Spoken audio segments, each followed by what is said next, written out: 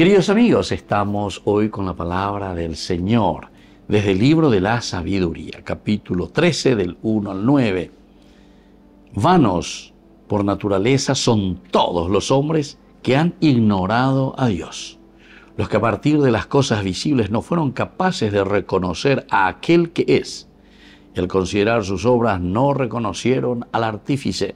En cambio, tomaron por dioses rectores del universo al fuego, al viento, al aire sutil, a la bóveda estrellada, al agua impetuosa, a los astros luminosos del cielo. Ahora, bien, si fascinados por la hermosura de estas cosas ellos las consideraron como dioses, piensen cuánto más excelente es el Señor de todas ellas, ya que el mismo autor de la belleza es el que las creó.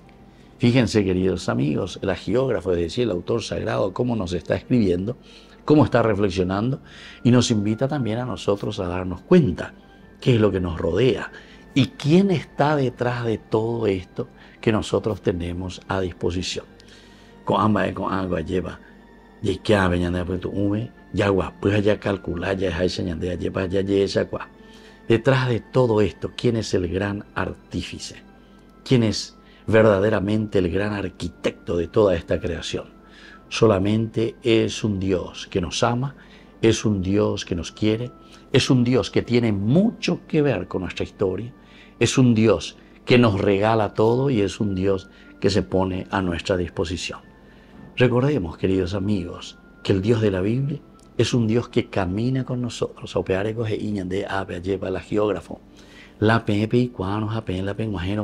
Apeñan du peñan de yara tu maranga tu vendere coebe. Cato este lleva pe llevo peteta pehuero sapucaitas apelleta. Cuaigo la ñanderúa lleva. Cuaigo la ñan de creador o me embama de porque viendo la creación, viendo lo que nos rodea, mirando el don y la fuerza de la vida, ciertamente que nosotros decimos, detrás de todo esto hay alguien inmenso. Y ese es Dios. Queridos amigos, volvamos a Dios. Ya pensa que allá es que lleva.